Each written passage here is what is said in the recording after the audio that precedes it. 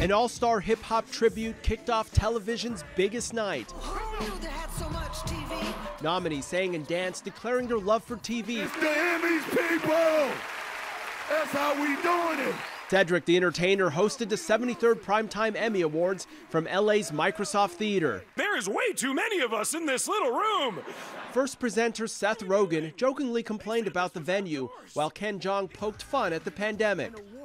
Dude, I didn't get four booster shots to present remotely. It was a good night for Apple TV's Ted Lasso. It won for Outstanding Comedy Series. Jason Sudeikis also won for Best Actor in the category. It, it means the world to me to be up here and just be uh, a mirror of what you guys give to me. The show also lassoed wins for Supporting Actor and Actress. Netflix's The Crown took home an armload of trophies, including Outstanding Drama Series, Lead Actress, Lead Actor, Best Supporting Actor and Actress in a Drama Series, and Writing and Directing honors. HBO Max's Hacks won several awards. The show's star, Jean Smart, dedicated her award for Best Actress in a Comedy Series to her late husband. I would not be here without him. There were also tributes for recently departed actors. And lastly, Weekend Update has been part of SNL for 46 seasons.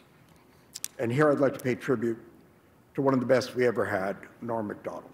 MacDonald passed away last week, while nominated Lovecraft country actor Michael K. Williams died earlier this month. Last week tonight with John Oliver won for Best Variety Talk Show for the sixth straight year. It also won for Best Variety Series Writing. Thank you, uh, thank you so much. Glitz, glamour, and high fashion were also on display on the red carpet.